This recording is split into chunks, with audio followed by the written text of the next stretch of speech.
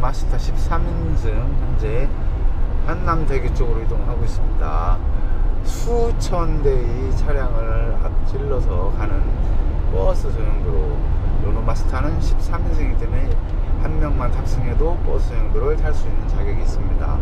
요노 마스터 좋네요.